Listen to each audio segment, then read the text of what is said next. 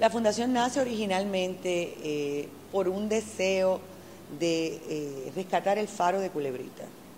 Así que yo creo que la restauración del faro tiene un, tiene un elemento real en tu rescatar una historia, rescatar unos valores y proveer un trabajo en el aspecto humano.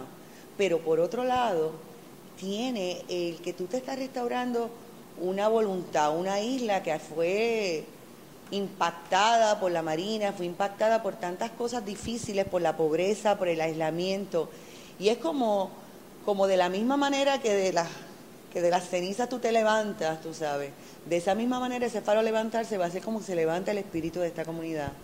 Y ha sido un proceso unitario bien bonito y la fundación está súper orgullosa porque quieren hacerlo bien, o sea, la comunidad, la voz de la comunidad esté en este proceso y que los muchachos vayan y visiten este faro y los muchachos sean parte del proyecto.